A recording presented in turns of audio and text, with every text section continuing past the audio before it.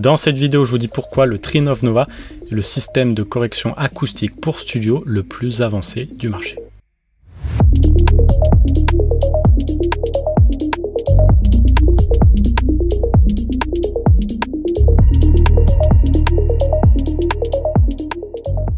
Vous avez probablement déjà vu des produits Trinov sur ma chaîne et peut-être même en avez-vous écouté un, ce nouveau Nova, au salon du son que Perceval Carré et moi-même avons organisé l'année dernière.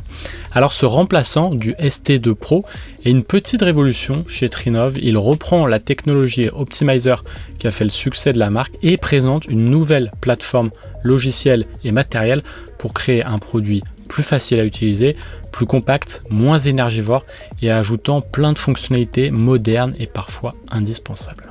Mais avant que je vous énumère les nouveautés apportées par le Nova, je dois vous parler de ce qui ne change pas et de ce qui a fait le succès de toutes les machines Trinov en studio et aussi en cinéma, en hi-fi. Je parle évidemment de l'algorithme Optimizer.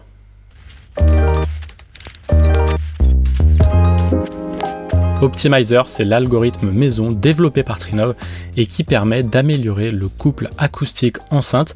Il a l'ambition tout simplement d'être le programme le plus avancé pour corriger les défauts créés par les enceintes, la pièce et l'interaction des deux. L'Optimizer améliore drastiquement trois aspects de votre écoute. La réponse en fréquence, aussi appelée amplitude, la réponse en phase et l'alignement temporel. Ce dernier, l'alignement temporel, il correspond à la distance enceinte-auditeur. L'optimizer est capable de détecter très précisément le moindre décalage spatial et de corriger les différences de distance entre l'auditeur et chaque enceinte. L'image stéréo est bien plus claire avec un centre plus précis et une balance gauche-droite impeccable. Pour ce qui est de l'amplitude, les choses se complexifient et deviennent ultra intéressantes. Trinov ne se contente pas de bêtement aplatir une courbe, l'optimizer est assez intelligent et précis pour différencier le son de l'enceinte, le son des premières réflexions et le chant réverbéré. Ça, c'est hyper utile car notre oreille, elle est aussi intelligente et elle peut distinguer le son des enceintes de celui produit par la pièce. Et ce, notamment dans le médium et les aigus, c'est-à-dire au-dessus de la fréquence de Schroeder. Cette intelligence de l'optimizer, elle a deux avantages. Le premier, c'est de corriger au plus proche de notre manière d'écouter et de percevoir le son. Et le second, c'est que Trinov est capable, si on le souhaite, de conserver certains défauts de linéarité de nos enceintes que l'on peut parfois apprécier. Par exemple, lors du salon du son, l'équipe de Trinov a été capable de voir à la mesure que les énormes PMC de Perceval avaient un creux à 2 kHz. Or, ce creux, eh ben, il fait partie du son assez doux de ces enceintes.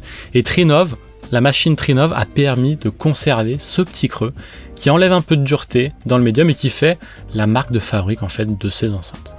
Bien sûr, on n'est pas obligé de conserver ces défauts de linéarité des enceintes et on peut très bien rendre une enceinte ultra linéaire. Mais c'est quand même bien de savoir qu'on a cette marge de manœuvre pour ne pas dénaturer le son d'une enceinte que l'on apprécie.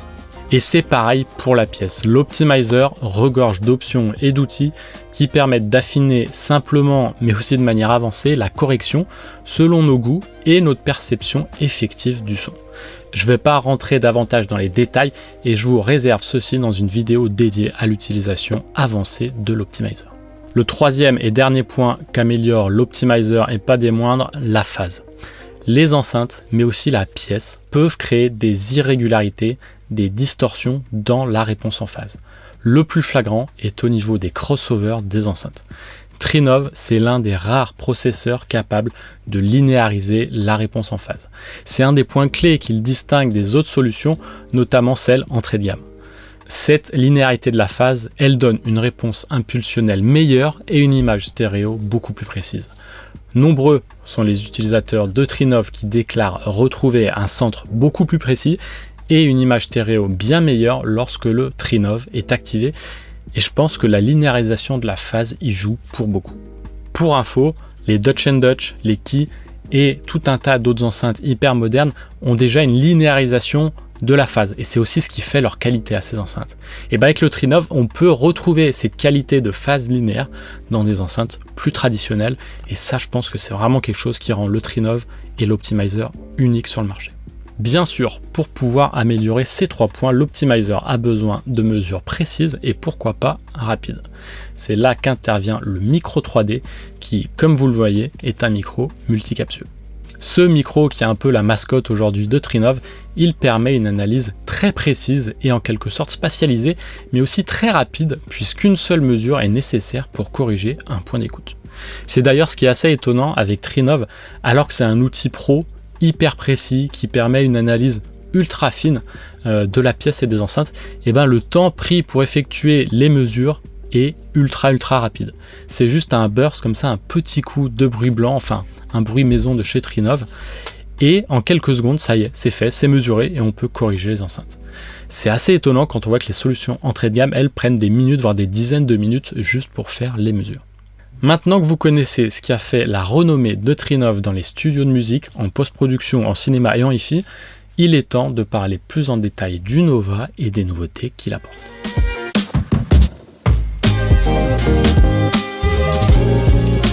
Commençons par l'évolution logicielle, c'est-à-dire là où on règle l'optimizer, mais aussi le routing interne de la machine la nouvelle interface utilisateur de Trinov a été totalement repensée pour offrir une expérience utilisateur plus intuitive et plus fluide. Trinov a mis l'accent sur l'ergonomie pour que chaque utilisateur, qu'il soit expert ou novice, puisse s'y retrouver facilement. Les menus ont été entièrement réorganisés pour un accès plus rapide aux différentes fonctions et les paramètres les plus utilisés sont désormais à portée de main. La nouvelle interface offre en plus des visualisations en temps réel des paramètres audio, ce qui est crucial pour effectuer des ajustements précis. Que ce soit la courbe de réponse en fréquence, les niveaux de phase ou l'alignement temporel, tout est affiché clairement et instantanément. Et pour faciliter encore plus l'utilisation, Trinov a intégré une assistance directement dans l'interface.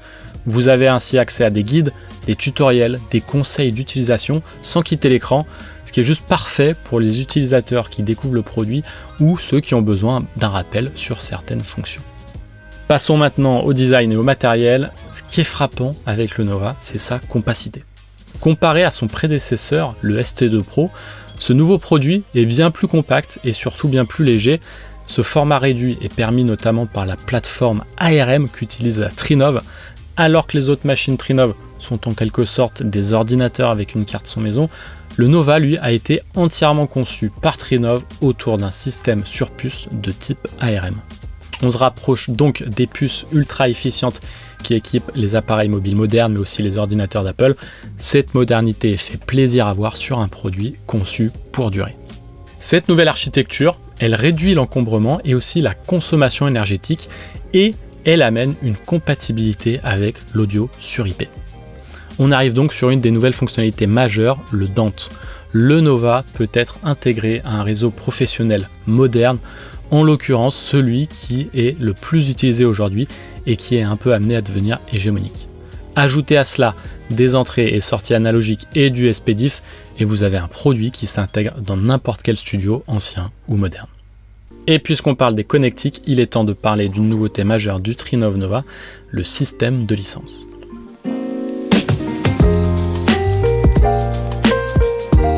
Les 6 sorties XLR du Trinov sont désormais configurables en fonction des besoins et du budget de l'utilisateur grâce à un système de licence modulaire. Si tous les Trinov Nova sont en fait le même produit hein, du point de vue matériel, il vous est possible d'acheter directement un Nova 2, Nova 4 ou Nova 6 ou bien d'upgrader par la suite en partant par exemple d'un Nova 2. Le chiffre correspondant en fait au nombre de canaux pouvant bénéficier de l'optimizer. Ce système de licence du Trinov Nova, il offre une flexibilité inédite pour les professionnels de l'audio. Par exemple, vous commencez avec un Nova 2 si vous avez une paire d'écoute principale à corriger.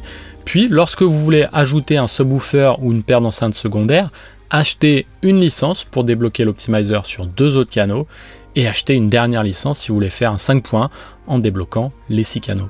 Ce nouveau modèle de vente est super parce qu'en fait il permet d'optimiser les coûts et d'offrir une évolutivité impressionnante. Et c'est notamment pour cela que le Trinov Nova, il est à la fois plus capable que les ST2 Pro et moins cher. A noter que même si vous n'avez acheté aucune licence et que vous avez le Nova 2 de base, les quatre autres sorties XLR sont toujours disponibles. Seulement, elles ne disposeront pas de la correction fournie par l'optimizer. Aussi, un alignement du délai et des niveaux pourra quand même être effectué pour basculer entre une paire d'enceintes optimisée et une paire non optimisée. Le Nova de base demeure ainsi un excellent contrôleur de monitoring et vous pourrez switcher librement entre les différentes sorties XLR. Car oui, le Nova n'est pas seulement un processeur acoustique, c'est aussi un contrôleur de monitoring avancé qui n'a pas à rougir face aux concurrents du même prix qui n'ont pas, eux, de fonction de correction acoustique.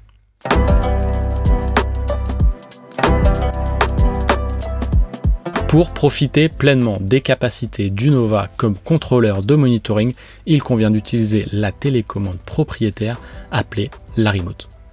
Ce produit plutôt récent chez Trinov, c'est le compagnon idéal du Nova.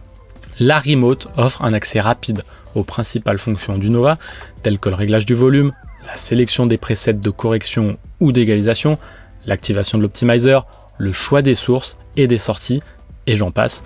Tout cela se fait en quelques clics et surtout le volume se gère avec l'un des potentiomètres les plus agréables qu'il m'ait été donné d'utiliser. Cerise sur le gâteau, cette télécommande comme le Nova est compatible avec la norme Yukon pour pouvoir être contrôlée par les surfaces de contrôle à vide. Ajoutez à cela des convertisseurs ESS sabre plus transparents et vous obtenez l'un des contrôleurs de monitoring les plus aboutis. Voilà, c'est à peu près tout ce que j'avais à dire dans cette présentation du Trinov Nova.